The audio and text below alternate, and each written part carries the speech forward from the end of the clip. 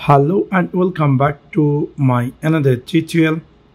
In this tutorial, I'm going to share with you how to enable portable hotspot in your Nokia 3.1 Plus. So let's take a look how to do that.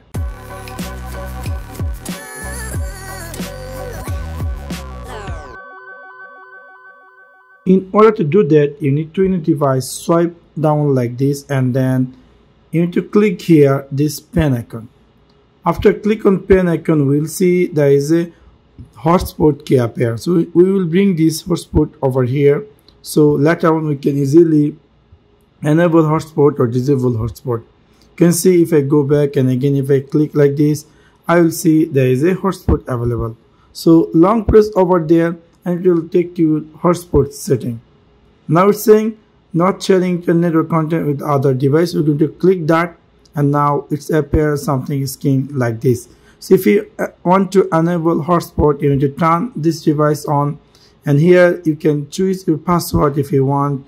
You can type any password uh, whatever password you want to uh, set and you can click here easily okay.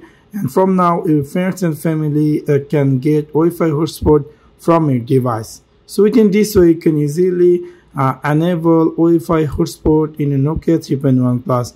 If you're done, you can easily turn it off by pressing here or if you want to enable, you can again click that and it's going to be enable portable hotspot in your Nokia 3.1 Plus. So that's for now. Thanks for watching my video.